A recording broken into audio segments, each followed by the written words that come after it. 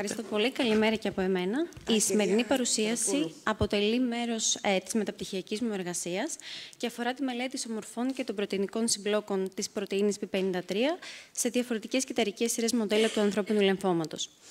Αρχικά, το λέμφωμα είναι μια κακοήθεια του αιματοποιητικού συστήματος που εμφανίζεται στο λεμφικό σύστημα και είναι χωρισμένο σε δύο κύριες κατηγορίες. Τα λεμφώματα Hodgkin και μη Hodgkin, τα οποία φέρουν συμπτώματα όπως είναι διωγγωμένοι λεμφαδένε, πυρετός, εφηδρώσει, απώλεια βάρους και αίσθημα κόπωσης. Τα λεμφώματα Hodgkin ε, προσβάλλουν τόσο λεμφαδενικέ όσο και μη λεμφαδενικέ περιοχές, ενώ το ποσοστό ίασης υπερβαίνει το 80% με τη χρήση σύγχρονων θεραπευτικών πρωτοκόλων και οι ασθενείς του συγκεκριμένου τύπου λεμφώματο αντιμετωπίζονται κυρίως με χημειοθεραπεία. Τα λεμφώματα μη Hodgkin διαφέρουν από τα Hodgkin σε αρκετά σημεία, όπως είναι κλινικά χαρακτηριστικά, η πρόγνωση αλλά και η έκβαση στη θεραπεία. Αποτελούν τον 7ο πιο συχνό τύπο καρκίνου, ενώ ε, τα αίτια τους για τα περισσότερα μη Hodgkin λεμφώματα μέχρι στιγμής παραμένουν άγνωστα. Ε, αρχικά, σημαντικό κομμάτι της συγκεκριμένης μεταπτυχιακής εργασίας είναι η πρωτεΐνη IP53, όπου είναι μια κουκοτασταλτική πρωτεΐνη με ρόλο να προστατεύει την ακυριότητα του γονιδιώματος και είτε να αναστέλει την πρόοδο του κυταρικού κύκλου και να επιδιορθώνει βλάβη του γενετικού υλικού, ε, είτε να οδηγεί το κύτταρο σε απόπτωση σε περίπτωση που η επιδιόρθωση αποτύχει. Σε φυσιολογικές συνθήκες, η IP53 ρυθμίζεται αρνητικά από μια άλλη πρωτεΐνη, την MDM2, και σχηματίζει σύμπλοκο μαζί της, αναστέλλοντας τη λειτουργία της. Υπό συνθήκες όμως κυταρικού στρε, οι δύο πρωτενε φωσφοριλιώνονται. Ο σχηματισμός του συμπλόκου δεν είναι εφικτός και έτσι η P53 είναι ελεύθερη να επιτελέσει τις λειτουργίες της και να προστατεύσει το κύτταρο από βλάβες. Έχουν ανακαλυφθεί μακρομοριακές ουσίες, όπως είναι η νάτλιν, η οποία εμποδίζει το σύμπλοκο, τη δημιουργία του συμπλόκου της P53 με την MDM2, όπως μπορούμε να δούμε και στην εικόνα, όπου σχηματίζει η νάτλιν το σύμπλοκο με την MDM2 και έτσι η P53 είναι ελεύθερη να επιτελέσει τις λειτουργίες της. Το γονίδιο της P53 στον άνθρωπο εκφράζει 12 διαφορετικές ισομορφές. Ε, η ισομορφή Δ133-53 είναι αυτή που θα μας απασχολήσει, από την οποία λείπουν τα 133 πρώτα μηνοξέα και μας ενδιαφέρει ιδιαίτερη η μελέτη της, διότι έχουν δειχθεί, έχει παρατηρηθεί ότι αυξημένα είναι τα επίπεδά της σε μια ποικιλία όγκων, όπως είναι όγκοι του μαστού, αλλά και νεφροκυταρικά κοινόματα. Ο σκοπός μας λοιπόν είναι να μελετήσουμε τη συγκεκριμένη ισομορφή και να τη συγκρίνουμε με το αγρίου τύπου P53 στα ανθρώπινα λεφώματα, καθώς επίσης να αναλύσουμε τόσο ποιοτικά όσο και ποσοτικά ε, τη συγκεκριμένη ισομορφή πριν και μετά την ε, επίδρασή της από την άτλην και να ανοιχνεύσουμε τα πρωτεϊνικά σύμβολα αυτή, στα οποία αυτή συμμετέχει ε, πριν και μετά την επόση από την άτλην επίσης.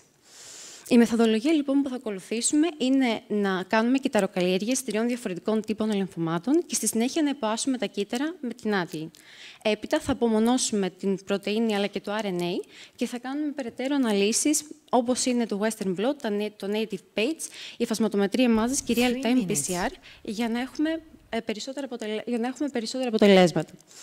Μέχρι στιγμής τα αποτελέσματα τα οποία έχουμε έχουν δείξει πως η MDM2 αυξάνεται και στις τρεις κυταρικές σειρές ύστερα από την επίδραση της Νάτλιν, ενώ η πρωτενη P53 παρατηρείται ότι αυξάνεται ε, μετά την επίδραση από τη Νάτλιν μόνο στους δύο από τους τρεις υποτύπους λυμφώματος.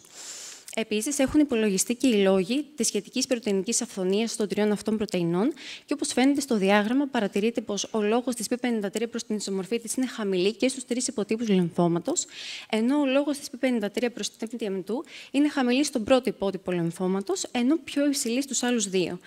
Τέλος, ο λόγος της ισομορφή προς την MDM2 είναι επίσης χαμηλή στο κλασικό λέμφωμα Hodgkin, αλλά αρκετά υψηλή στους άλλους δύο υποτύπους λυμφώματος. Ε, τα συμπεράσματα μας έχουν δείξει πως η ισομορφή αυτή ανοιχνεύεται και στους τρεις υποτύπους λυμφώματος που μελετήθηκαν. Η έκφρασή, τους, η έκφρασή της σε επίπεδο πρωτεΐνης διατηρείται σε χαμηλά επίπεδα, τα οποία όμως δεν μεταβάλλονται σημαντικά με την ενεργοποίηση της 53 από την άτλη. Και συνεπώς η πρωτεϊνική έκφραση της συγκεκριμένης ισομορφή φαίνεται να μην επάγεται από το αγρίου τύπου ε, την P53 στους συγκεκριμένους τύπους λυμφώματος. Μελλοντικά έχουν προγραμματιστεί πειράματα έτσι ώστε να δώσουμε απάντηση σε ερευνητικά ερωτήματα, όπως είναι εάν υπάρχει η συγκεκριμένη ισομορφή και η wild type σε επίπεδο τόσο πρωτεϊνικό όσο και σε επίπεδο mRNA και ποια είναι η σχετική αυθονία και των δύο.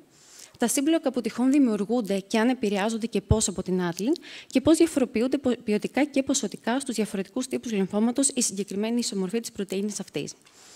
Θα ήθελα να ευχαριστήσω πάρα πολύ την κυρία Κωνσταντίνα Ψαθά, τον κύριο Μιχάλη Αϊβαλιώτη, αλλά και την κυρία Ζία Αθηνάη, ε, τα μέλη του εργαστηρίου Πρόφη και Φάνπαθ και όλους εσάς για την προσοχή σας. Ευχαριστώ.